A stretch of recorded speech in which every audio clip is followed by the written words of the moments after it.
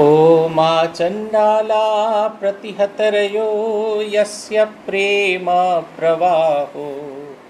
लोकातीतोऽप्यहनजहो। लोककल्याणमार्गं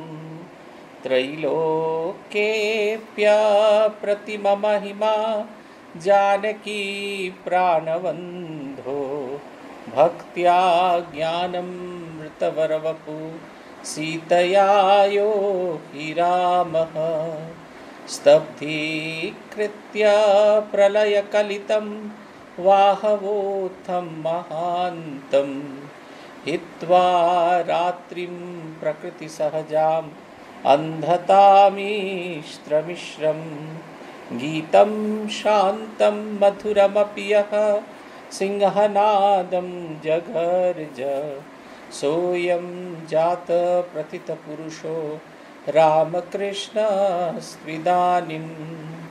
जय जय रामकृष्ण वंशकल्पतरु জয় জয় ভগবান জগতের গুরু জয় জয় গুরু মাতা জগত জননী রামকৃষ্ণ ভক্তিদাত্রী চৈতন্য দায়িনী জয় জয় রামকৃষ্ণ ইষ্ট গোষ্ঠীগণ সবার চরণ রেণু মাগে অধম।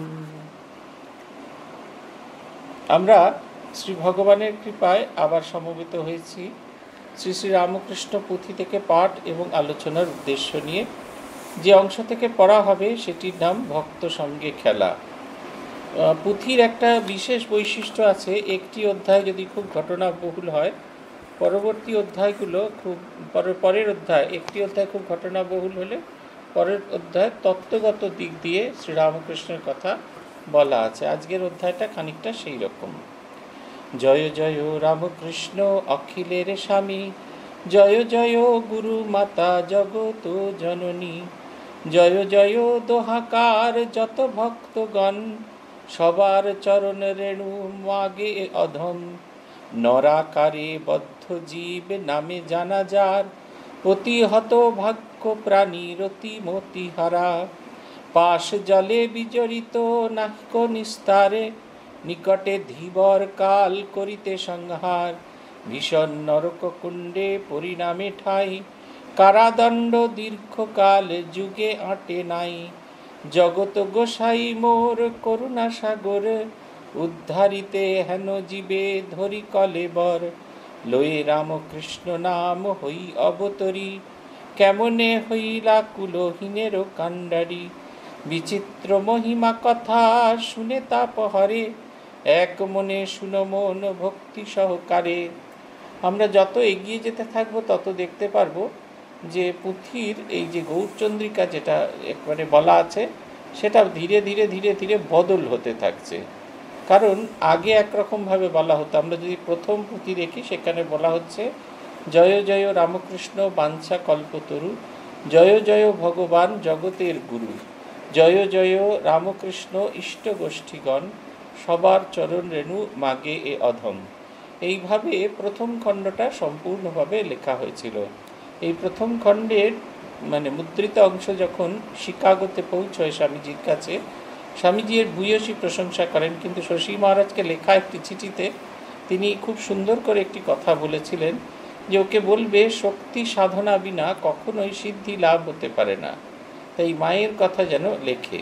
সেই কারণে শ্রী শ্রী মায়ের কথা পরবর্তী এ থেকে যুক্ত হলো।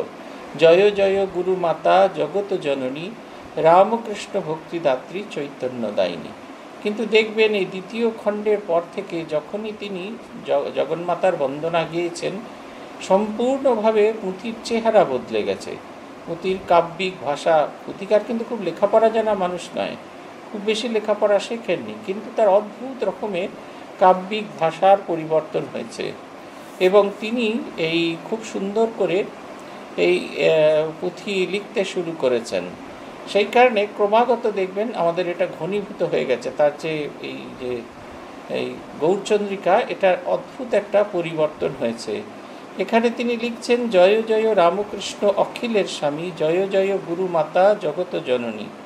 জয় জয় দোহাকার যত ভক্তগণ, সবার চরণ রেণু মাগে এ অদম।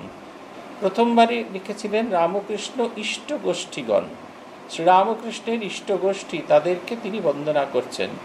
কিন্তু এইখানে যত এগিয়ে যাচ্ছে, সেখানে লিখছেন, জয় জয় দোহাকার যত ভক্তগণ। শুধু ঠাকুরের ভক্ত নন, তারা ঠাকুর এবং মা দুজনের। এইখানে যেন তিনি শ্রীরামকৃষ্ণ এবং শ্রীমা সারদা সত্তাকে একীভূত করে দিয়েছেন। তার দৃষ্টিতে আর পৃথক নেই, তার দৃষ্টিতে তারা এক। প্রভু মহারাজের একটা চিঠি পড়ছিলাম সেদিনকে দেখছিলাম পড়তে পড়তে। সেখানে প্রভু মহারাজকে কেউ প্রশ্ন করেছেন যে, তার ধ্যান করবার সময় শ্রী শ্রী মায়ের মূর্তি খালি মনে আসে। তাহলে কি তার তিনি অনেক চেষ্টা করেছেন, কিন্তু কিছুতেই তিনি শ্রী শ্রী ঠাকুরের মূর্তিটিকে মনে পড়ছে না তার। যখনই তিনি ধ্যান করতে বসেন, তখনই তার ঠাকুরের মূর্তি মনে পড়ে মায়ের মূর্তি মনে পড়ে। তাহলে কি তার মন্ত্রের পরিবর্তন করা দরকার? কারণ তিনি শ্রীরামকৃষ্ণ মন্ত্রে দীক্ষিতা হয়েছেন। মহারাজ তাকে খুব স্পষ্ট ভাষায় লিখলেন যে, শ্রীরামকৃষ্ণ এবং শ্রীমা সারদা দেবী অভেদ।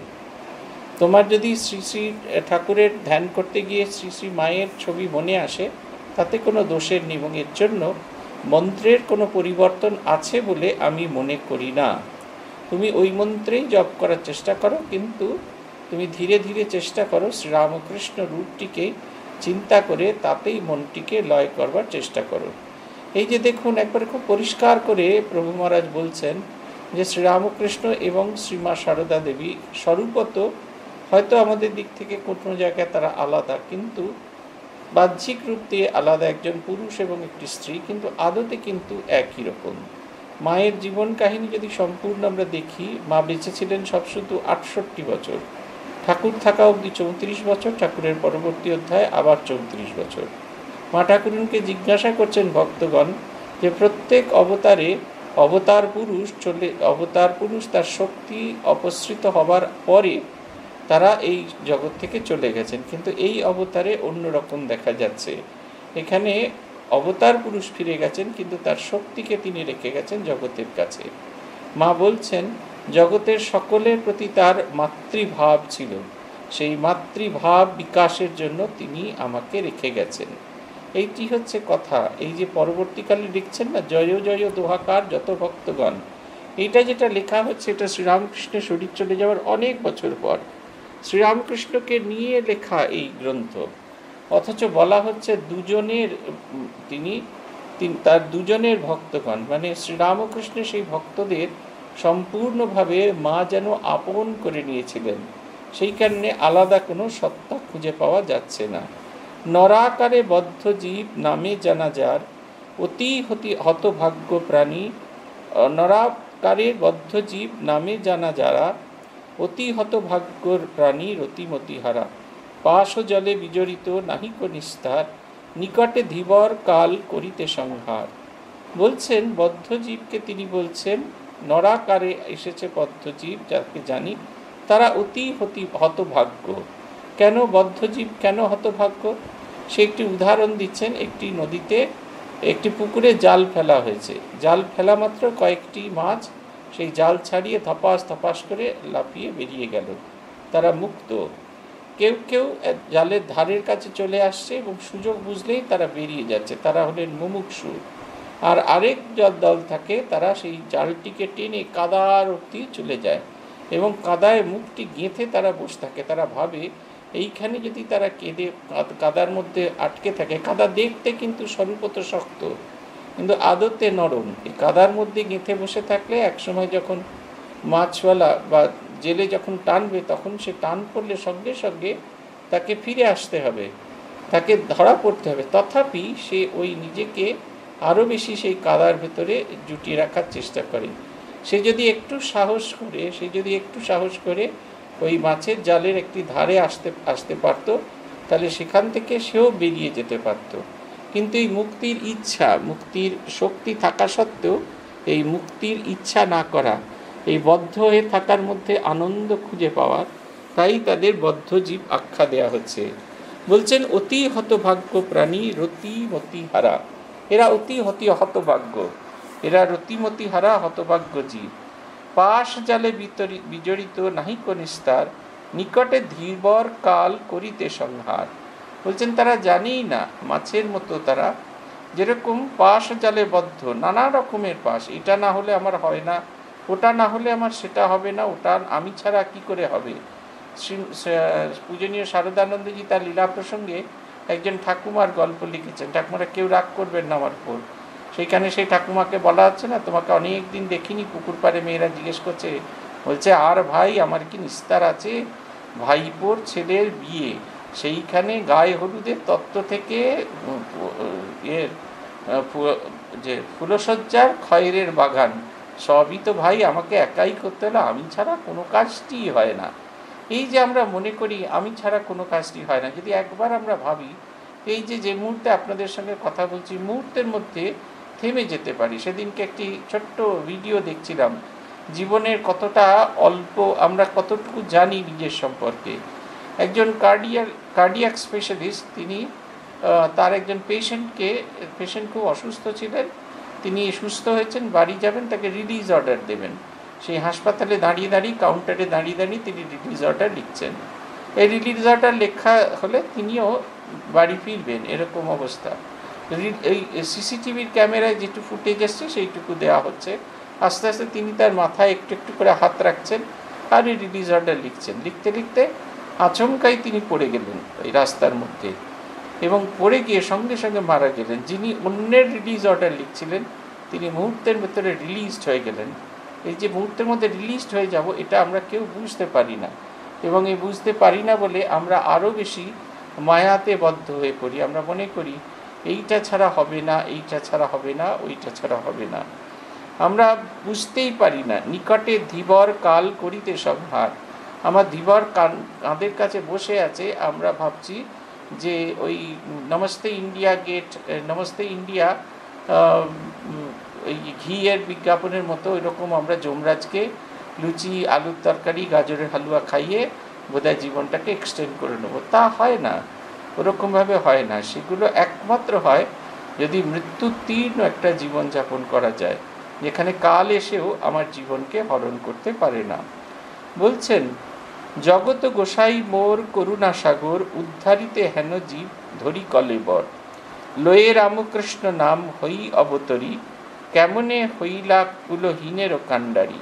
বিচিত্র মহিমা কথা শুনো তা, শুনে তা পরে এক মনে শুনো মন ভক্তি সহকারে। প্রতিকার বলছেন যে, এই সমস্ত মানুষদের উদ্ধার করার জন্য জগৎ গোসাই এই করুণা সাগর করুণায় মানুষের মতো রূপ ধরে এসেছেন। শুধু মানুষ রূপ ধরে আসেননি, রামকৃষ্ণ নাম নিয়েছেন। তিনি রামকৃষ্ণ নাম নিয়ে এই জগতে লীলা করে চলেছেন। কেমনে হইলা কুলহীনেরও কাণ্ডারি? বিচিত্র মহিমা কথা শুনো তা ফরে এক মনে শুনো মন ভক্তি সহকারে। এইখানে একটি ভারী সুন্দর কথা বলেছেন। বলছেন, কুলহীনের কাণ্ডারি, কুলহীনের তিনি কাণ্ডারি হয়েছেন। পুঁথিতেই এক জায়গায় ভারী সুন্দর দুটি গল্প একটি গল্প বলা আছে। সেখানে একটি নৌকা এসে ঠেকেছে ইয়েতে। আমাদের ভবের ঘাটে একটি নৌকা এসে ঠেকেছেন এবং সেই নৌকার কাণ্ডারি হলেন শ্রীরামকৃষ্ণদেব। বলছেন, তিনজন মানুষকে তিনি নিয়ে যাবেন বলে এসেছেন। ঘাটে নৌকা ঢাকা মাত্র যারা ওপারে যাবে বলে প্রস্তুত ছিল।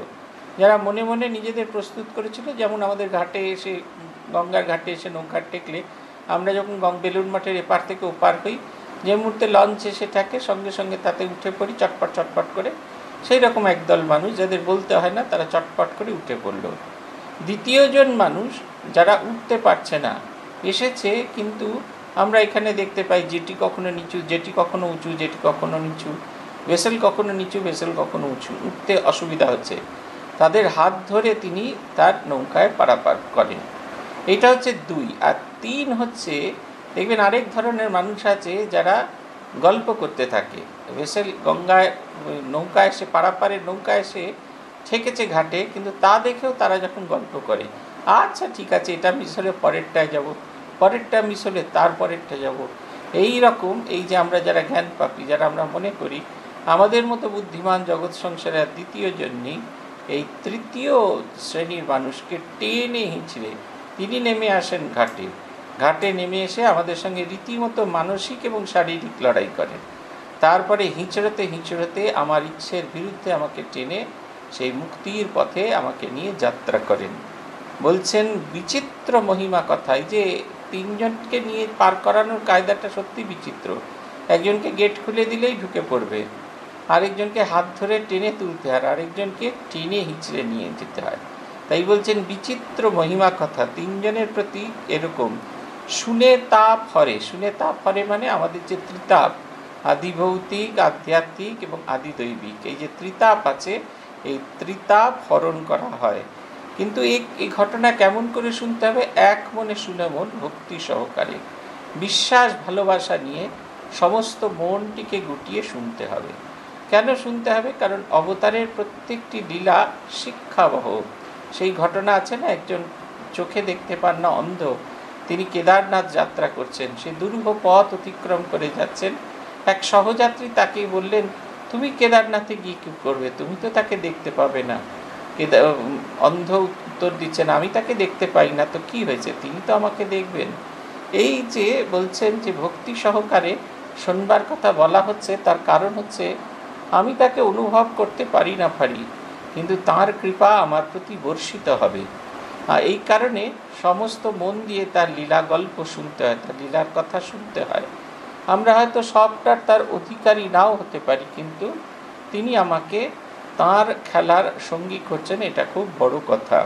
পুতিকা লিখছেন, ভক্ত সংযোটন কাণ্ডে দেখো প্রমাণ, পতিত পাবন বেশে রামকৃষ্ণ নাম। জুটিতেছে যত ভক্ত শ্রীপ্রভুর স্থানে একমাত্র হেতু নাম মাহাত্মের গুণে। একবার শ্রবণে পশিলে পরে নাম, আপাদ মস্তকে জোড়ে ঘোরে এক টান, অচল অপেক্ষাত গুরু তনু অভিমানে। ভাষায় তাহায় যেন তৃণের তুফানে। আহার বিরাম নাই, চলে নিরন্তর। করুণা নিধান যথা প্রেমেরও সাগর। নামে ভক্ত জুটাইয়া প্রভু গুণধাম। জীবেরে উদ্ধারে দিলা রামকৃষ্ণ নাম।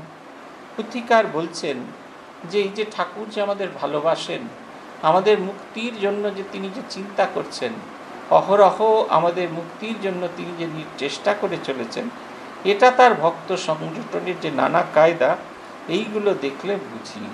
কোন অবতারে মানে অবতার পুরুষ নেমে এসেছেন ভক্তের জন্য, এটা আমরা বুঝতেই পারি না। কারণ শ্রীরামকৃষ্ণদেব বুঝিয়েছিলেন যে ঈশ্বরের মহিমা তখনই যখন ভক্তের ভেতরে ঈশ্বরের প্রকাশ হয়। রবীন্দ্রনাথের গান আছে না? আমার মধ্যে তোমার প্রকাশ তাই এত মধুর। সীমার মাঝে অসীম তুমি বাজাও আপন সুর। তোমার আলোর নাইক ছায়া, আমার মাঝে পায়ে সে কায়া। হয় সে আমার অশ্রু জলের সুন্দর বিদুর আমার মধ্যে তোমার প্রকাশ তাই এত মধুর। ঈশ্বরের প্রকাশ সব থেকে বোঝা যাবে যদি তা মানুষের ভেতরে, মানুষের হৃদি দর্পণে যদি ঈশ্বরের প্রকাশ আমরা অনুভব করতে পারি। এই ভক্ত সংগঠনের কায়দাগুলি তার ভারী সুন্দর। রামদত্ত এবং মনমোহন মিত্র এসেছেন শ্রীরামকৃষ্ণের সঙ্গে দর্শন করবেন বলে। তারা ভেবে এসেছেন পরমহংস মানে লম্বা জটা থাকবে, হাতে চিমটে থাকবে মনে কৌপিন পড়া থাকবে। এবং অনেক চালা চামুন্ডা পরিবৃত হয়ে তিনি বসে থাকবেন। দারোয়ানকে জিজ্ঞাসা করলেন, রামকৃষ্ণ পরমহংস কোথায় থাকেন? দারোয়ান দেখিয়ে দিলেন, ওই সে ঘর ওইখানে গিয়ে ঢুকুন। তারা ঢুকে ইংরেজি কায়দায় টক টক করে নক করছেন। নক করা মাত্র তাদের মনে হলো যেন তাদেরকে আবাহন করবেন বলে তিনি দরজাটি খুলে দিলেন, একবারে ধরে দরজাটি খুলে দিলেন। এবং তাদের দেখা মাত্র তারা হাত জোর করে ইংরেজি কায়দায় প্রণাম করছেন ঠাকুর মেঝেতে মাথা ঠুকিয়ে প্রণাম করছেন। বলছেন, এমন এক মানুষকে দেখলাম, তার গায়ের ঊর্ধ্বাঙ্গটা খালি। সাদা লাল পেরে কাপড় সেটা ঊর্ধ্বাঙ্গে জড়ানো। আর ভারী মিষ্টি কথা। শুধু তাই নয়, দুজনকে দুহাত দিয়ে ধরে হিরির করে টানতে টানতে তার বিছানাতে তার পাশে বসিয়ে জমিয়ে আড্ডা করছেন। আড্ডা দিতে দিতে তার সঙ্গে গল্প করতে করতে একটা সময় অনুভব করলেন, ইনি সেই পরমংশ মশাই, যার সঙ্গে তিনি তারা দেখা করতে এসেছেন। এই যে প্রত্যেকটি ভক্ত সংযটন প্রত্যেকটি এক অপূর্ব গল্প, এক নতুন গল্প কথা বলছে। বলছেন পথিত পাবন বেশে রামকৃষ্ণ নাম, ভক্ত সংযটন কাণ্ডে দেখো প্রমাণ। জুটিতেছে যত ভক্ত শ্রীপ্রভুর স্থানে, একমাত্র হেতু নাম মাহাত্মের গুণে। এই যত ভক্ত একসঙ্গে জুটেছে, সব কিন্তু রামকৃষ্ণ নামের গুণে। এই দেখুন, আমরা যে আজকে এখানে একত্রিত হয়েছি, শুধু কিন্তু প্রভু শ্রীরামকৃষ্ণকে কেন্দ্র করে। আমার কথা আপনারা শুনছেন, এই কারণেই শুনছেন যে আমি শ্রীরামকৃষ্ণের আশ্রয় গ্রহণ করেছি। আপনি এই কারণে ঠাকুরের কথা শুনছেন, কারণ আপনি আপনার ভক্তিভাবটিকে আরও বেশি পোক্ত করতে চাইতেন। সবটাই শ্রীরামকৃষ্ণের গুণ, নামের এত মহিমা, এত শক্তি, সেটি আমাদের বদল করে দিচ্ছেন। এক ওই সুলভ সমাচার কাগজে শ্রীরামকৃষ্ণ সম্পর্কে লেখা হচ্ছে এবং সেই কাগজ পড়ে বলরাম মন্দিরের একজন পূজারী তিনি ভীষণ রকমের অনুপ্রাণিত হলেন।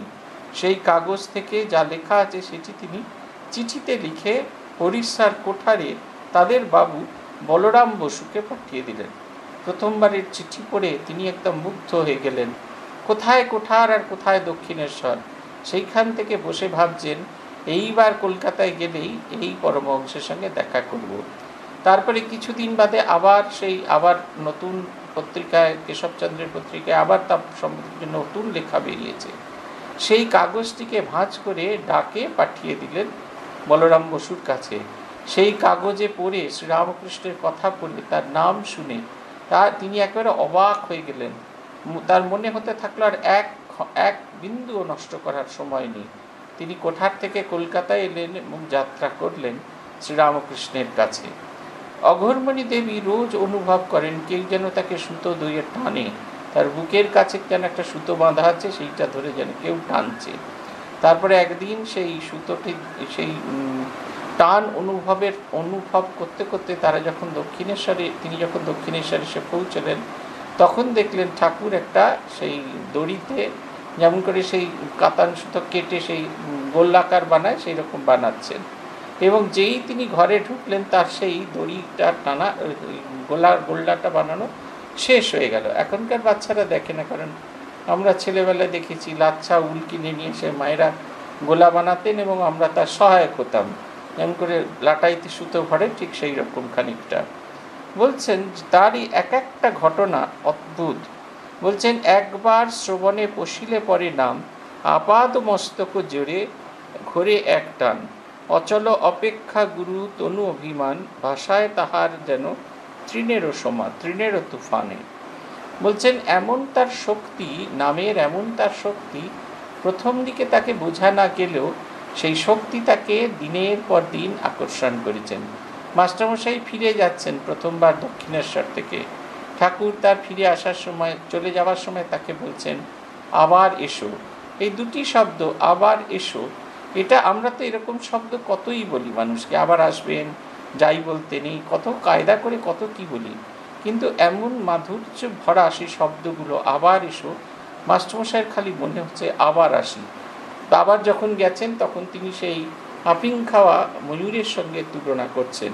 কিন্তু আমরা প্রত্যেকেই প্রত্যেককেই তিনি এত ভালোবেসেছেন এত ভালোবেসেছেন যে তাকে না দেখে আমরা থাকতে পারিনি। আমাদের যত অভিমান, সমস্ত কিছু ভেঙে গেছে। ঠাকুরকে দেখে নরেন্দ্রনাথের মনে হয়েছিল, তার সম্বন্ধে যেরকম বোধ হয়, তিনি পাগল হেনা তেনা, তিনি তেমনই। এই নরেন্দ্রনাথ দিনের পর দিন ঠাকুরের কাছে এসেছেন। ঠাকুরদার দিকে ফিরেও তাকাননি। ঠাকুর নির্দেশে জিজ্ঞাসা করছেন, আমি তো তোর সাথে কথা বলি না তাহলে তুই কেন আসিস? বলছেন, আমার ভালো লাগে, তাই আমি আসি। এই ভালো লাগাটা তৈরি করে দিয়েছে তার নামের স্পৃহা, তার প্রতি ভালোবাসার কারণ। আহার বিরাম নাই, চলে নিরন্তর, করুণা নিদান যথা প্রেমের সাগর। নামে ভক্ত জুটাইয়া প্রভু গুণধাম, জীবেরে উদ্ধারে দিলা রামকৃষ্ণ নাম। বলছেন, তার সেই লীলা, আহার বিহারে কোনো রকম বিরাম নেই। তিনি যখন সাধন ভজন করেছেন, সেই অরূপের সন্ধান করেছেন, সেই সময়ও এই আহার বিহার জীবন ধারণের যে কারণ, এটাকে তিনি ফিরেও তাকাননি এবং পরবর্তীকালে ঘণ্টার পর ঘণ্টা ঘণ্টার পর ঘণ্টা তিনি এই নিয়ে প্রসঙ্গ করেছেন। মানুষকে ভালো করার কথা বলেছেন, কিন্তু তাতে তার সামান্যতম বিরাম নেই। পূজনীয় ভূতেশানন্দজি মহারাজকে দেখেছি, একানব্বই সালে তার যখন বাইপাস সার্জারি হলো, তারপরে তার কথা বলাটাকে কমিয়ে দেওয়া হলো। দীক্ষা, ওনার কোনো দিন প্রণাম বন্ধ হতো না। যেদিন দীক্ষা থাকতো, সেদিনকে বিকেলে প্রণাম হতো। বিকেলে প্রণামের শর্তই এই। ভূতেশানন্দজির সঙ্গে আমাদের শর্ত হলো যে, আমরা তাকে কোনো কথা বলব না, তিনিও আমাদের সঙ্গে কোনো কথা বলবেন না। উনি শুধু হাসাহাসি হবে। উনি আমাদের দেখে হাসবেন, আমরা ওনাকে দেখে হাসবো। একটাও কথা বলব না। পনেরো মিনিটের সময়, বিকেলের যে পনেরো মিনিট সময়, তখন তো আরও তাড়াহুড়ো করতে হতো, কারণ আমরা প্রণাম করে গেলে তবে ভক্তদের প্রণাম করবার সুযোগ হবে। তাই সেবকরা যত তাড়াতাড়ি পারে, প্রায় হাওয়ার মতো আমাদের সেই তালপাতার পাখার মতো এমনি এমনি করে যেত সবসময় এগিয়ে যাও এগিয়ে যাও। মহারাজও মাঝে মাঝে বলতেন, এগিয়ে যাও এগিয়ে যাও। আর কোনো কথা, আমরা কোনো কথা বলতাম না, শুধু আমরা হাসাহাসি করতাম। উনি আমাদের দিকে হাসতেন আমরা ওনাদের দিকে হাসতাম। কিন্তু কি আকুলতা? প্রত্যেকের কল্যাণ চিন্তা নিয়ে তার কি ভাবনা? সকালবেলা গেলেই যে মুহূর্তে প্রণাম শুরু হলো, মহারাজ বলতেন, ভালো ভালো কথা বলো, ভালো ভালো কথা বলো। ভালো জিনিস নিয়ে আলোচনা হোক। একেবারে তার অন্য কোনো কাজে তিনি সময় নষ্ট করতে সামান্যতম রাজি নন।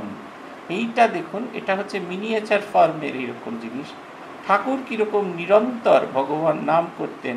ভগবত কথা বলতেন, এটা আমরা একটা ধারণা করতে পারি। নামে ভক্ত জুটাইয়া প্রভু গুণধাম জীবেরে উদ্ধারে দিলা রামকৃষ্ণ নাম। মহাপুরুষ মহারাজ বলছেন, কলিকালে রামকৃষ্ণ নাম হচ্ছে ডঙ্কা মারা নাম। মহাপুরুষ মহারাজ তখন দীক্ষা দেন না। মহাপুরুষ মহারাজের কাছে অনেকে এসে দীক্ষা চাইছেন। মহাপুরুষ মহারাজ বলছেন যে, না, আমি দীক্ষা দিই না। তবে কেউ যদি শুধু রামকৃষ্ণ রামকৃষ্ণ নাম করেন, তাহলেই তার হবে, তাহলেই তার হতে পারে। বলছেন, তুমি এ কলিকালে এটি ডঙ্কা মারা নাম, মন প্রাণ এক করে এটি জপ করলেই হবে। পুথিকার লিখছেন যে জীবেরে উদ্ধারে দিলা রামকৃষ্ণ নাম, নিজের নামটি তিনি ছেড়ে দিয়ে গেলেন। মায়ের ক্ষেত্রেও ঠিক তাই। মা বলছেন, রাধা বলে ডাকতে পারো আর কিচ্ছু না পারো, মা বলে ডেকো। মা নাম শিখাইতে সবে, মা রূপে মা হয়ে এসেছ ভবে।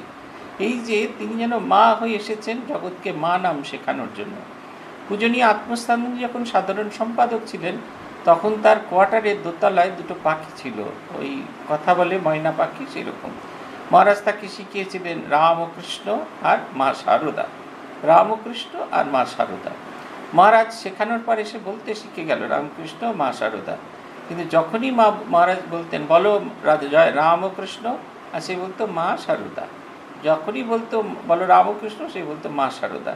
মহারাজ আমাদের মজা করে বলতেন, দেখ, এইটুকু পাখি, এ বেটাও শিখে গেছে যে রামকৃষ্ণ নাম বললে উদ্ধার হয়ে যাবে।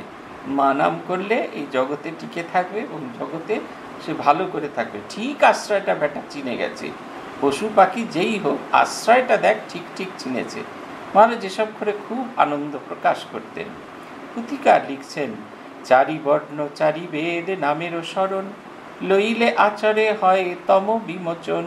আত্মজ্ঞান সমন্বিত চৈতন্য সঞ্চারে, জাতিবর্ণ নির্বিশেষে নাহিক বিচার। সাত পনে মিলে নাম করি নাহি লাগে, বারেক লইয়া দেখো ভক্তি অনুরাগে। প্রভু অবতারে নব খেলিবার রীতি, পূর্ণ ব্রহ্ম সনাতন প্রেমের মূরতি। ভাঙা গড়া কোনো ধর্মে কিছু না করিয়া নূতন করিলা খেলা সব সংরক্ষিয়া। ধর্মে ধর্মে বিবাদ বিদ্বেষ চিরকাল, মিটিল প্রভুর প্রেমে সেসব জঞ্জাল। বিশ্বব্যাপী শ্রীপ্রভুর প্রেমের জোয়ারে ভাসিল সকলে কলি, ডুবিল পাথারে। নানা জাতি, নানা ধর্মে একত্রে মিলন।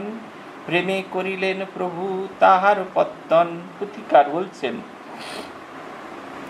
বলছেন, আমাদের চারি বর্ণ এবং চারি বেদ, চারটি বর্ণ, ব্রাহ্মণ, ক্ষত্রিয়, বৈশ্য, শূদ্র, সেটিকে ধারণ করার অধিকার এই চার বর্ণকে দেওয়া হয়েছে। আসলে বেদকে ধারণ করার যে অধিকার পূর্বকালে দেওয়া হতো, সেটা মেধাভিত্তিক দেওয়া হতো। দেখবেন, এখনও পর্যন্ত এই পদ, পদবিগুলো লুপ্ত হয়ে যায়নি। বেদী, দ্বিবেদী, ত্রিবেদী, চতুর্বেদী। দেখবেন এই এই সারনেমগুলো আছে এই সারনেমগুলোই পরিচায়ক। সেই যে বর্ণ, সে যারা, তারা কত মেধাবী ছিলেন, তার পূর্বপুরুষরা কত মেধাবী ছিলেন। বেদই মানে হচ্ছে যে বর্ণ একটি মাত্র বেদকে নিজেদের মধ্যে ধারণ করে রাখতে পারে। দ্বিবেদী মানে হচ্ছে দুটি বেদকে ধারণ করে পারে ত্রিবেদী মানে হচ্ছে তিনটি বেদকে ধারণ করে থাকে এবং চতুর্বেদী মানে চারটি বেদকে ধারণ করে থাকে। বেদই যারা, তার থেকে বেদ কথাটা এসছে বেদই হচ্ছে মূলত সামবেদকে অথর্ব বেদকে যারা ধারণ করে রেখেছে। এরা মূলত চিকিৎসা শাস্ত্র নিয়ে কাজকর্ম করতেন। এই বেদি থেকে বৈদ্য কথাটার এই যে প্রচলন হয়েছিল। বলছেন, আত্মজ্ঞান চারি বর্ণ চারি বেদ নামেরও স্মরণ লইলে অচিরে হয় তম বিমোচন যে কোনো বেদ, একটি বা চারটি যে কোনো কিছুকেই আমরা যদি চর্চা করি, তার দ্বারা আমাদের মনের অন্ধকার দূরীভূত হয়। শাস্ত্রপাঠ এটি করে, আমাদের মনের অন্ধকারকে দূরীভূত হতে সাহায্য করে। আত্মজ্ঞান সমন্বিত চৈতন্য সঞ্চার, জাতি ধর্ম নির্বিশেষে নাহিক বিচার আত্মজ্ঞান যখন প্রকাশিত হয়, সেটি যেমন ব্রাহ্মণের হৃদয়তে আলোকিত করে, তেমনি ক্ষত্রিয় হৃদয় একই রকম আলোকিত করে, শূদ্রের হৃদয়কে সেরকম আলোকিত করে। যেমন একটি খুব বড় ঘরে আলো নিয়ে এলে, সেটি যেমন আলোকিত হয় ছোট ঘরে আলো নিয়ে গেলে সেটিও আলোকিত হয়। কিন্তু ঘরের প্রকারভেদে কোথাও কোথাও আলোটিকে উজ্জ্বল বলে মনে হয়, কোথায় আলোটিকে মৃয়মান বলে মনে হয়। ঠিক সেরকম আধারের ভিত্তিতে জ্ঞানের আলো প্রকাশিত হলেও কোথাও কোথাও সেই জ্ঞানের প্রকাশটি ভীষণভাবে বোঝা যায়, কোথাও যেন স্তিমিত হয়ে বোঝা যায়। কিন্তু আত্মজ্ঞান সকলের ভেতরে এবং আত্মজ্ঞান একবার জাগরিত হলে প্রত্যেকের হৃদয়ে চৈতন্যের চৈতন্যের সঞ্চার হয় এবং এই চৈতন্যের সঞ্চার হওয়াটা জাতি, বর্ণ, ধর্ম সব নির্বিশেষে হয়। সাতপনে মিলে নাম করি নাহি লাগে, বারেক লইয়া দেখো ভক্তি অনুরাগে। শ্রীরামকৃষ্ণ একটি নতুন বার্তা দিয়ে গেলেন, শুধুমাত্র ঈশ্বরের নাম যেটা পাওয়ার জন্য খুব বেশি টাকা করি বা খুব বেশি শ্রমের প্রয়োজন হয় না। অন্তর থেকে নাম নিলেই মানুষের অন্তরে মুক্তির আলো প্রকাশিত হয়। বলছেন, প্রভু অবতারে প্রভু অবতারে নব খেলিবার রীতি, পূর্ণ ব্রহ্ম সনাতন প্রেমেরও মূরতি ভাঙা গড়া কোনো ধর্মে কিছু না করিয়া, নূতন করিলা খেলা সব সংরক্ষিয়া। এই প্রভু অবতারে তিনি এলেন প্রেমের মূর্তি হয়ে এসেছিলেন। শ্রীরামকৃষ্ণকে দেখলে মনে হতো যেন ভালোবাসা ঘনীভূত হয়েছে। স্বামীজির ভাষায় ওই যে লাভ পার্সনিফাইড এল ও ই পার্সনিফাইড ভালোবাসা যেন এক জায়গায় ঘনীভূত হয়ে গেছে, একত্রিতে প্রকাশিত হচ্ছে। এই রকম অবস্থা। তাই বলছেন, প্রভু অবতারে নব খেলিবার রীতি ঈশ্বরকে ডাকবার একটি নতুন রীতি তিনি দেখিয়ে গেলেন। কীরকম রীতি? ভাঙা গড়া কোনো ধর্মে না করিয়া, কিছু না করিয়া নতুন করিলা খেলা সব সংরক্ষিয়া। যে ভাঙা গড়া যাই করুক মানে কোনো ধর্মকে ভেঙে গড়ে কিছু করলেন না। সবটিকে অবশিষ্ট রেখেই তিনি যেন এক নতুন ভাবকে দিলেন। বললেন, নতুন করিয়া খেলা সব সংরক্ষণ নতুন খেলা করলেন, সব সংরক্ষণ করে। সেদিনকে দেখছিলাম একটি ছোট্ট ডকুমেন্টারি ফিল্ম বাংলাদেশের এক মহিলাকে নিয়ে লেখা। তার হঠাৎ করে কোনো একদিন মনে হয়েছিল, তিনি তাদের চাষের ক্ষেত আছে। তিনি ছোটবেলায় যে সমস্ত ধান খেয়েছেন, সেই জাতীয় ধানের বীজ আর তিনি খুঁজে পান না আজকাল। তখন তার একটা নতুন নেশা চাপলো। যে যে সবজি তার বাগানে হয়, প্রথমে সেই সবজির বীজের সংরক্ষণ। এইরকম করতে করতে একশো একুশ রকমের সবজির বীজ তিনি সংরক্ষিত করেছেন। কত ষাট না সত্তর রকমের ধানের তিনি এটি জোগাড় করে রেখেছেন। তিনি বলছেন, একটা সময় তো সব শেষ হয়ে যাবে। আমরা অবশ্যই নূতনকে গ্রহণ করব। কিন্তু যেটা সনাতন, যেটা আদি, যার থেকে এই সমস্ত কিছু সৃষ্টি হয়েছে, তাকে কেন পরিত্যাগ করব। কি সুন্দর ভদ্রমহিলার কথা। সামান্য গ্রামী, গ্রাম্য মহিলা, খুব বেশি লেখাপড়া শেখেনি কিন্তু তার কালেকশন সেটি একবারে দেখার মতো। তাই বলছেন, নূতন গড়িয়া নতুন করিলা খেলা সব সংরক্ষিয়া। ধর্মে ধর্মে বিবাদ ও বিদ্বেষ চিরকাল মিটিল প্রভুর প্রেমে সেসব জঞ্জাল। বিশ্বব্যাপী শ্রীপ্রভুর প্রেমের জোয়ারে ভাসিল সকলে কলি, ডুবিল পাথারে। নানা জাতি, নানা ধর্ম, ধর্মে একত্রে মিলন। প্রেমে করিলেন প্রভু তাহার উপত্তন। বলছে, নানা জাতি, নানা ধর্ম, প্রত্যেকের আলাদা আলাদা দেখার দৃষ্টিভঙ্গি। প্রভু অবতারে এসে একটা নতুন দৃষ্টিভঙ্গি সবাই খুঁজে পেল। তিনি ভেঙে দিলেন সব কিছুর যে বাধার যে দেওয়াল সেগুলোকে ভেঙে দিলেন। ভাঙবার জন্য অস্ত্র হিসেবে তিনি কি ব্যবহার করলেন? অস্ত্র হিসেবে ব্যবহার করলেন তার ভালোবাসাটিকে। জগৎটিকে তিনি ভালোবাসলেন। পুথিকার এক জায়গায় লিখেছিলেন, অবতার যখন, ভগবান যখন অবতরণ করেন এই পৃথিবীতে, তিনি সঙ্গে করে তার ভালোবাসার দেউলটি নিয়ে আসেন। এমন একটা বাড়ি যার প্রতিতলায় তার প্রত্যেকটি ইট একবারে ভালোবাসা দিয়ে পূর্ণ হয়েছে। যে তার কাছাকাছি আসে, তার ভেতরেও সেইটির অদল বদল হতে থাকে। পুথিকার লিখছেন, ভেদাভেদ জাতি ধর্মে উত্তম অধমে, পুরুষে স্ত্রীলোক কিবা চণ্ডালে ব্রাহ্মণে, ধনাঢ্যে নির্ধনে কিবা করে ধীরে নিরক্ষরে, ধর্ম, ধার্মিক অধার্মিকে কিবা ব্যাধে তপাচারে, দূরীভূত এইবার প্রেমে শ্রীপ্রভুর একাকার নাম তিনি, সবার ঠাকুর।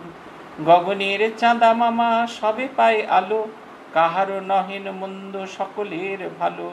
সর্বধর্মে সব মতে সাধন করিয়া, ধর্মে মাত্রে সত্যে প্রভু দিলাই দেখাইয়া। প্রভুর নিকটে ধর্ম সকল সমান, সকল ধর্মের মতে তার অধিষ্ঠান। যত ধর্ম দেহ তার ভাব যতরূপ সকলের মধ্যে তিনি প্রাণের স্বরূপ। রামকৃষ্ণ পন্থা যাহা সমষ্টি সবারে সকল জাতির তাহে সম অধিকার প্রতিকার বলছেন। ভেদাভেদ কিসে হয়? না ভেদাভেদ হয় উত্তমে অধমে। ভেদাভেদ হয় পুরুষে স্ত্রীলোকে। ভেদাভেদ হয় চণ্ডালে ব্রাহ্মণে। ভেদাভেদ হয় ধনে নির্ধনে। ভেদাভেদ হয় পণ্ডিতে নিরক্ষরে। ভেদাভেদ হয় ধার্মিক অধার্মিকে ভেদাভেদ হয় ব্যাধে এবং তপাচারী। এই আমাদের আচরণগত দিক দিয়ে আমাদের ভেদাভেদ হয়। গুণগত দিক দিয়ে আমাদের ভেদাভেদ হয়। কিন্তু মানুষের দিক দিয়ে কখনো ভেদাভেদ হতে পারে না। একজন মানুষের ভেতরে আরেকজন মানুষের ভেদাভেদ আমরা তার গুণগত দিক দিয়ে করি। সে হয়তো উত্তম মানুষ, আরেকজন অধম মানুষ। এই দিয়ে তাকে করি। সে হয়তো পুরুষ বেশে এ পৃথিবীতে এসেছে, কেউ হয়তো নারী বেশে এসেছে। আমরা ভেদাভেদ করি, পুরুষের বেশি শক্তি আছে, নারীর কম শক্তি আছে। আবার কোথাও বলি নারীর প্রচুর শক্তি আছে, পুরুষের কম শক্তি আছে। আদতে সবাই সেই একই শক্তির প্রকাশ, শুধুমাত্র প্রকাশের তারতম্যের জন্য আলাদা আলাদা বোঝায়, এইটা আমরা কিছুতেই বুঝতে পারি না। ঠাকুর যেন তার প্রেমের জোয়ারে সব কিছু দূরীভূত করিলেন। একা কারও নন তিনি সবারও ঠাকুর। তিনি একা কারুর নন, সবার তিনি। তার কাছে যে আসতেন, তারই মনে হতো তিনি বোধহয় তাকে সবচেয়ে বেশি ভালোবাসতেন। এটা আমরা পূজনীয় ভূতেশানন্দজি মহারাজের কাছে গিয়ে অনুভব করার চেষ্টা করেছি। মহারাজের কাছে আমরা এতজনে যেতাম, কিন্তু আমাদের সব সময় মনে হতো, মহারাজ বোধি আমাকেই খুব ভালোবাসে। আমার সঙ্গেই বোধ হয় মহারাজ একটা স্পেশাল রিলেশনশিপ আছে। এবং আমরা শুধু সেটা ভাবতাম না, আমরা সেটাকে মানে রেলিশ করার চেষ্টা করতাম, ভালোবাসাটাকে রেলিশ করার চেষ্টা করতাম। আমরা সেই নিয়ে নিজেদের ভেতরে অহংবোধ করতাম এবং সে ব্যাপারটা একে অপরের সঙ্গে গোপন করে রাখতাম। হয়তো কোনো দিন মহারাজ আমার দিকে তাকিয়ে একটু বেশি হেসেছেন, আরেকজনের দিকে তাকিয়ে আরও বেশি হেসেছেন, তাতে কিচ্ছু এসে যান কিন্তু আমাকে দেখে একটু হেসেছেন, এটাতে আমাদের যে কি ঘ্যাম হতো, আমার হয়তো মনের মধ্যে কোনো প্রার্থনা হয়েছে, মহারাজ বোধহয় আমার দিকে তাকিয়ে দেখেছেন। বা সেদিনকে সেই প্রশ্নের উত্তর দিয়েছেন, তখন মহারাজ, মনে হতো যে মহারাজ আমাকে সবচেয়ে বেশি গুরুত্ব দিলেন। ধনী নির্ধনকে তিনি, সকলকে তিনি সমান জায়গায় এনে দিয়েছিলেন ভালোবাসার বন্ধন দিয়ে। বলছেন, ধর্মমাত্রে সত্য প্রভু দিলা দেখাইয়ে, প্রভুর নিকটে ধর্ম সকলে সমান, সকলের ধর্ম মতে তাঁর অধিষ্ঠান। তিনি ভালোবাসা দিয়ে সব ধর্মকে জুড়ে দিয়েছিলেন। সমস্ত ধর্মের মূল কথা হচ্ছে ভালোবাসা। যদি সেই ভালোবাসাটাই অবস্থান আমরা করতে না পারি, তাহলে কিন্তু কোনোভাবেই আমরা ধার্মিক হতে পারব না। আমি নামে ধার্মিক, অথচ আমার ভিতরে ভীষণ রকমের মন্দবাসা আছে। জগতের সকলকে ছোট বড় করে দেখি সেখানে কিন্তু কিছুতেই কিছু হয় না। আমাদের এখানে রিলিফ করতে এসছিলেন একদল মানুষ, দেখছি। আমার সঙ্গে বেশ খটাখটি লেগে গেল। তারা খুব ভালো পোশাক পরে এসেছেন, খুব ভালো ভালো জিনিস এনেছেন, বাঁহাত দিয়ে রিলিফ করছেন। তা আমি মজা করে বললুম সেই মনসামঙ্গলে আছে, যে হাতে পুঁজি মুই, দেব ছিল পানি, সে হাতে পুঁজি না মুই, চ্যাং মুই কানি। চাঁদ বণিককে যখন বলা হয়েছিলেন, মা মনসা বলেছিলেন, তুমি আমায় পুজো করো। বলছেন, দেখো বাপু, আমি ডান হাতে শিব পূজা করি, ওই হাতে তোমাকে পূজা করতে পারব না। বলে তিনি ওই শ্লোকটি বলেছিলেন। যে হাতে পুঁজি মই, দেব সুলোপানি সে হাতে না পুঁজি মই, চ্যাং মই কানি। আমরা আমি মজা করে বলাতে তিনি বুঝলেন যে এটা হয়তো একটু খারাপই হয়েছে। তাই তিনি আবার ডান হাতে দিলেন। আমরা সব সময় চেষ্টা করি, সবাইকে বলার চেষ্টা করি, এইগুলো করার চেষ্টা করবেন, দেবেন, কিন্তু তার মধ্যে যেন অহংকার প্রকাশ না হয়। হয়তো খানিকটা অভিনয়, কিন্তু এটা একটা ভাব এনে দেয়। আমরা বলি, জুতোটা খুলবেন আর দু হাত দিয়ে দেওয়ার চেষ্টা করবেন। আপনার দুটি হাত দিয়ে দেওয়ার চেষ্টা করবেন আর যে গ্রহিতা, সেও যেন দুহাত ভরে সেটিকে গ্রহণ করতে পারে। ঈশ্বরের কৃপা আমার মধ্যে দিয়ে আরেকজনের ভেতরে প্রকাশিত হচ্ছে। শারদানন্দজি জিজ্ঞেস করছেন, না, তুই কি দিলি? সেবক বলছে, চাল, ডাল, আলু, গম, এসব দেওয়া হলো। শারদানন্দজি আবার জিজ্ঞেস করছেন, তুই কি দিলি?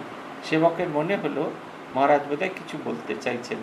বলছেন তুই দিলি অন্যের জিনিস অন্যকে দিলি, এর মধ্যে তোর কি কৃতিত্ব?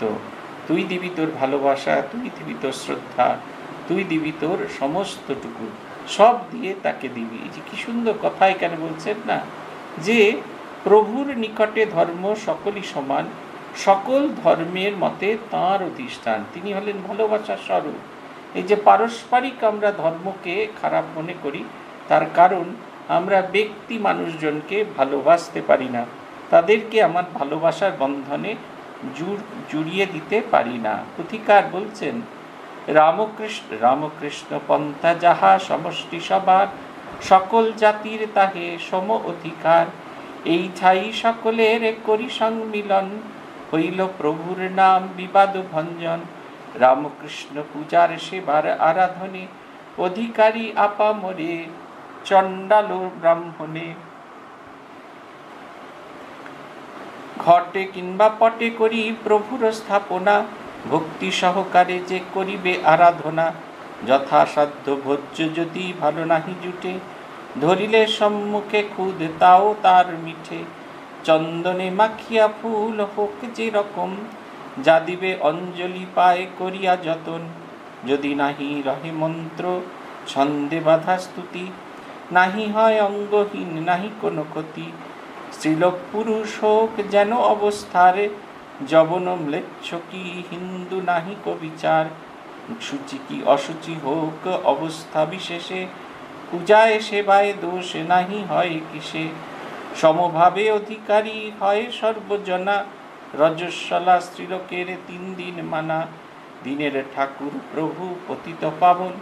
ত্রুতি দোষ নাহি সাধ্য যাহার যেমন। এসবে অক্ষম যে বা শরীরে দুর্বল, নাম লয়ে ফেরে যদি দুনয়নে জল, তখনই হইবে ধন্য নাহি।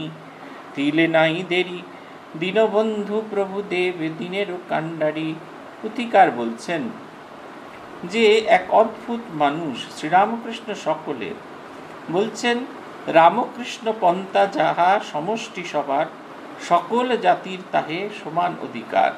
বৈষ্ণব, শাক্ত, শৈব এই যে ভিন্ন ভিন্ন আমাদের ভাব, আমরা যেভাবেই হোক না কেন, তাকে যদি সেইভাবে তাকে যদি ডাকতে পারি, তাহলে সমস্ত ভাবই আমরা তাকে পেতে পারি। সমস্তভাবেই তাকে পাওয়া সম্ভব। বলছেন, সকল জাতির তাহা সব, সমে অধিকার। রামকৃষ্ণ পন্থা যাহা সমষ্টি সবার। শ্রীরামকৃষ্ণ পন্থায় সবাই সমান আর কি।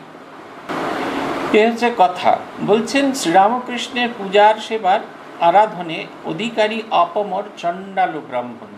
এ সবার অধিকার আছে, সবাই তার পূজা করতে পারে। তাহলে পূজার কীভাবে করবে? বলছেন, ঘটে কিংবা পটে করি প্রভুর স্থাপনা, ভক্তি সহকারে যে করিবে আরাধনা, ঘটে বা পটে প্রভুর আরাধনা সে করতে পারে। অনেকে প্রশ্ন করেন, অনেকে জিজ্ঞাসা করেন যে ব্রাহ্মণ না হলে হবে না, দীক্ষা না হলে হবে না। এগুলো হচ্ছে যখন আমরা সার্বজনীন পূজা করি। সর্বজনের কল্যাণ যেখানে জড়িয়ে আছে, সেখানে নিয়মকানুন পালন করা অত্যন্ত জরুরি। কিন্তু আপনার ঘরেতে তো তিনি আপনার নিজের লোক। আপনার তো এত নিয়মকানুন পালন করার দরকার নেই। মা ঠাকুরানী কি সুন্দর একটা পূজার কথা সরজুবালা দেবী লিখছেন। সরজুবালা দেবী তিনতলার ছাদ থেকে নেমে মাকে ডাকতে গেছেন। এমন সময় দেখছেন যে মা পঞ্চপাত্র হাতে নিয়ে ঠাকুরের সামনে গিয়ে ঠাকুরকে বলছেন, এসো ঠাকুর, খাবে এসো। গোপাল, খাবে এসো। তারপরে তিনি হাঁটা দিয়েছেন। পর্দার পাশে লুকিয়ে দাঁড়িয়ে আছেন সরজুবালা দেবী। ঠাকুর, সরজুবালার মনে হচ্ছে মা সেই সেই বধুর মতো, মেয়েরা যেরকম মাথায় ঘোমটা দিয়ে ডাকে, সেরকমভাবে ডাকছেন। এবং তার পেছন পেছন যেন ঠাকুর হেঁটে হেঁটে আসছেন গোপাল হামাগুড়ি দিয়ে আসছেন। সরজুবালার সঙ্গে চোখাচুকি হওয়াতে ইয়ে বললেন মা বললেন সবাইকে খেতে ডাকছি, সবাইকে খেতে নিয়ে যাচ্ছি। এমন ভালোবাসা যে তিনি সঙ্গে সঙ্গে তাকে নিয়ে যাচ্ছেন। মনে হচ্ছে তার সেই আবাহনের ভেতরে যেন সব ভালোবাসাটুকু লুকিয়ে আছে। ভগবান যেন তার সেই ছবি, তার সেই কুলুঙ্গি থেকে নেমে এসে তার সঙ্গে গেছেন। কত সহজ পদ্ধতি মা শেখাচ্ছেন। আমরা শিখেও শিখি না। সেই রান্না করা হচ্ছে ইয়েতে, ওই যে, কি বলে বেশ? চটিতে। সেখানে গিয়ে হাঁড়িতে মাটির হাঁড়ি ফেটে গেছে গরমের চাপে। মা তাড়াতাড়ি করে এতটুকু কিছু সমস্যা করলেন, একটা শাল পাতা নিলেন আর একটা কাটি দিয়ে একটু একটু করে ওপরের ভাত সরিয়ে তাড়াতাড়ি তাড়াতাড়ি করে তুলে নিয়ে সেই শাল পাতা, তাতে একটুখানি ডাল দিয়ে, একটু তরকারি দিয়ে বললেন, আজ যেরকম মেপেছো সেই রকম খাও। এই গরম গরম খেয়ে নাও দেখি, দেখুন কি সুন্দর কথা। আমরা ভাবতুম ইয়ে বাবা, সব নষ্ট হয়ে গেল, কি করে খেতে দেবো, কি করব। ও সমস্ত কিছু ভাবা ভাবি নেই। পুজোর একটা ভারী সুন্দর গল্প বলেছেন আপনাদের বেলগড়িয়া স্টুডেন্ট সমের কথা। ভান্ডারি এসে বলে দিচ্ছে, এইখানে ঘি রাখা আছে, এইখানে ভাত রাখা আছে, এই এই সেদ্ধ দেওয়া আছে, এই এই ভাজা দেওয়া আছে। আজকে এই মাছ হয়েছে, ফুলকপির তরকারির সঙ্গে এই আমাদের ভেটকি মাছ দিয়ে রান্না করা হয়েছে। ক্ষীর কমলাটা বুঝলে এরমভাবে রান্না করা হয়েছে। চন্দন ক্ষীরটা এমনি করে বানানো হয়েছে। এত বিরক্ত লাগছিল তারপরে যখন মহারাজ বুঝলেন, আমি খুব বিরক্তি প্রকাশ করছি, আমার খারাপ লাগছে, তিনি আস্তে আস্তে চলে গেলেন। তারপরে যখন পুজো শেষ হয়ে গেল ভোগারতি শেষ হয়ে গেল, সেই জল আর একটি ডাবের জল আর মিষ্টি নিয়ে মহারাজকে দিতে গেছি। মহারাজ খেতে খেতে বলছেন, তোমার খুব রাগ হচ্ছিল, অভিমান হচ্ছিল না? আমরা হ্যাঁ বড্ড দেরি হয়ে গেছিল, সেই কারণে অভিমান হচ্ছিল। বলছে, না, ঠাকুর তো জানে না কেমন করে খাবে, তাই তোমায় দেখিয়ে দিলাম। তুমি যদি না জানো কোনখানে ঘি দেওয়া আছে, তাহলে তুমি ঠাকুরকে বলবে কি করে? ওইখানে ভাতে ঘি দেওয়া আছে, ওইটা দিয়ে খাও। ঠাকুর যদি জিজ্ঞেস করে, ক্ষীর কমলাটা রাঁধা হলো কি করে রে? তুমি যদি না জানো, তুমি তো বলতে পারবে না। দেখুন, দেবতাকে মাটির পৃথিবীতে নিয়ে চলে এসেছেন। তার সঙ্গে একটা অপূর্ব সংযোগ স্থাপন করা হয়েছে। মহাপুরুষ মহারাজ আমাদের বেলঘরিয়া স্টুডেন্ট সমের ছাত্রদের জন্য একটি ভারী সুন্দর নিদান দিয়েছিলেন। বলেছিলেন, ছেলেরা সব খেয়ে দিয়ে পুজো করবে। কেন খেয়ে দিয়ে পুজো করবে? না, বাচ্চা ছেলে তো না খেলে তাদের খিদে পাবে। পেটে খিদে থাকলে মুখে গন্ধ হবে। তাই ঠাকুরকে যখন সে পরিষ্কার টরিষ্কার করবে, ঠাকুরের কষ্ট হবে। তাই আমাদের বেলঘরিয়া স্টুডেন্ট সমেত ছেলেরা ভর পেট খেয়ে, একদম আমরা বলতাম, তোরা এই অবধি খেয়ে তারপরে পুজো করতে যায়। এটা অদ্ভুত একটা, এত সুন্দর, এই যে কত বিধি ভেঙে দিচ্ছেন, এগুলো কিন্তু সব ধর্মমতে সব জায়গায় আমরা দেখতে পাই না। কি কষ্ট হতো প্রথম প্রথম। এখন তারপরে পরবর্তীকালে আর হতো না।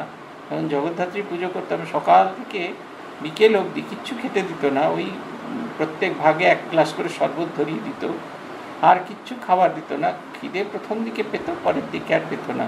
বিশাল দেবী মূর্তি, তার সেই নানা আচার আচরণ, পুজো, ভুলেই যেতাম আমরা এগুলো।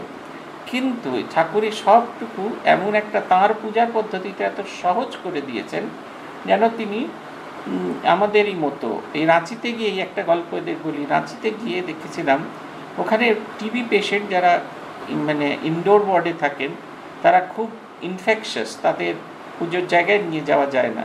তাদের থেকে যারা কম ইনফেকশাস তাদের অনেক প্রোটেকশন প্রোটেকশন দিয়ে মাস্ক দিয়ে একবার পুজোর জায়গায় নিয়ে গিয়ে অঞ্জলি দেওয়ানো হয়। কিন্তু যারা ভীষণ ইনফেকশাস তাদেরকে নিয়ে যাওয়া সম্ভব হয় না।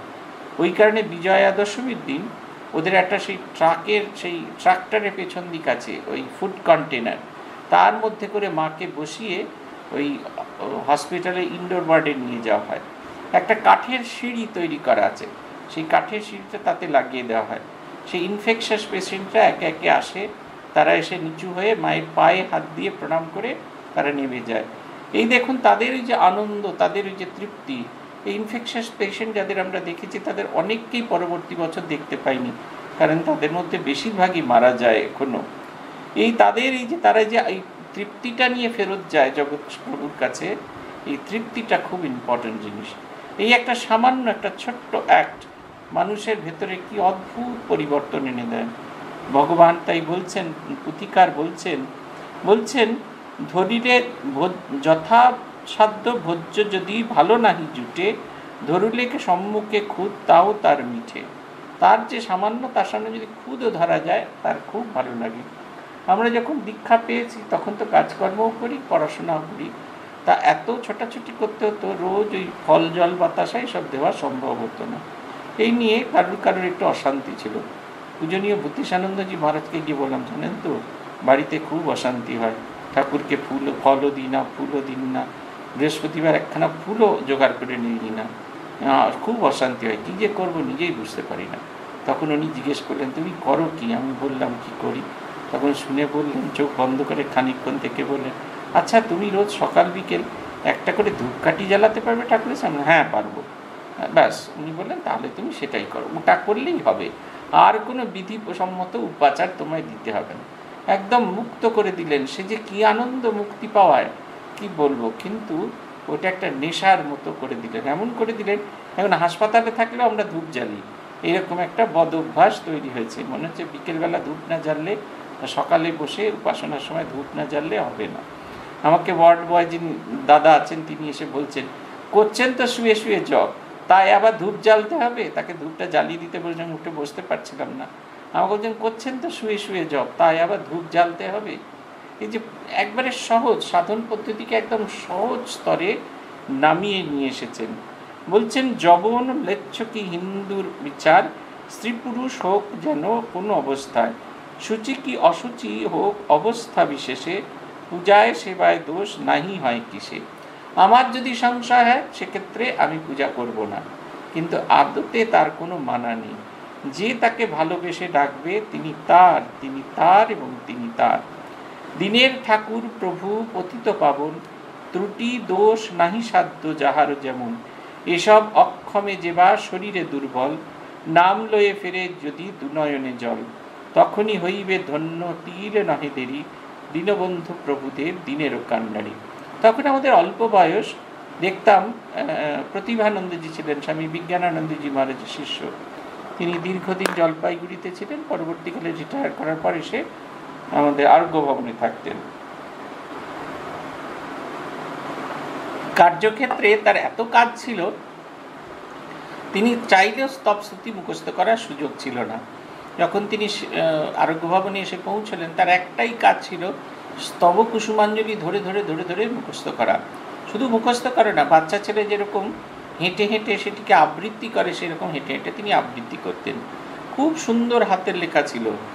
সাদা কাগজের মধ্যে যেটি আজকে তিনি মুখস্থ করেছেন, সেটি একটা কাগজের মধ্যে লিখে তিনি যখন বিকেলে আরোগ্য ভবনের সামনে রাস্তায় হাঁটতেন, সেটি দেখতেন, আবৃত্তি করতেন, দেখতেন, আবৃত্তি করতেন।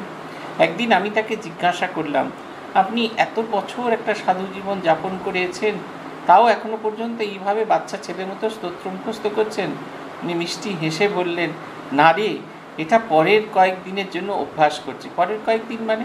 যখন এই যে পায়েও হাঁটতে পারব না আঙুলও চলবে না, ভগবানকে ডাকতেও পারব না, হয়তো মালার প্রত্যেকটা দানা টানতেও সব হাতেতে ভাত হয়ে যাবে, তখন আমি মনে মনে এগুলো মনে থাকলে মনে মনে এইগুলোকে বলতে পারব, মনে মনে এগুলোকে চিন্তা করতে পারব, আর এগুলোকে চিন্তা করলে ঈশ্বরের সঙ্গে একাত্ম বোধ করব।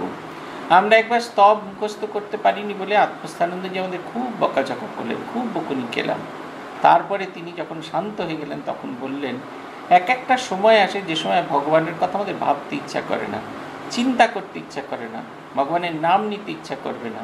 তখন সাধু কি করবে? যে কালো জায়গাটাকে ছেড়ে এসেছে, সেই কালো জায়গাটা নিয়ে পড়ে থাকবে।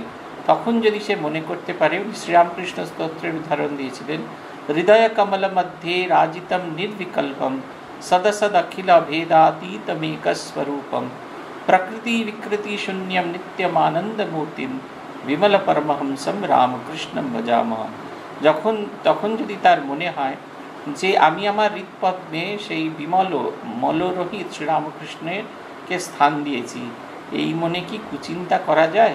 দেখবি তার মন চচ্চর চচ্চর করে ভগবানের দিকে এগিয়ে যায়। জীবনে সত্যি সত্যি এরকম একটি সময় এসে উপস্থিত হয়।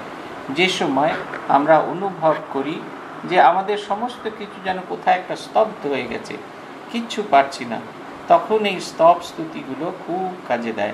প্রতিভানন্দজিকে আজও আমার মনে আছে। বলছেন, এটা এখনকার জন্য কদিন বাদের জন্য করছি। যখন ওনার খুব বাদ ছিল আঙুল টাঙুলগুলো শেষের দিকে বেঁকে গেছিল, ভালো করে জপ ধ্যান করতে পারতেন না। বলতেন, তখন চাইলেও করেও গুনতে পারব না জপে মালার জপেও তো পারব না। ততক্ষণ যতক্ষণ মনে মনে জপ করব, তারপরে বাকি সময়টা হাঁটতে চলতে তো পারব না, ঠাকুরের মন্দিরে তো যেতে পারব না। তাই যতটা সময় পারি এই স্তব শ্রুতি মুখস্থ করে তার দিব্য রূপকে চিন্তা করার চেষ্টা করে যাব। পুথিকার বলছেন, তখনই হইবে ধন্য তীর নাহি দেরি দীনবন্ধু প্রভুদেব দিনেরও কাণ্ডারি।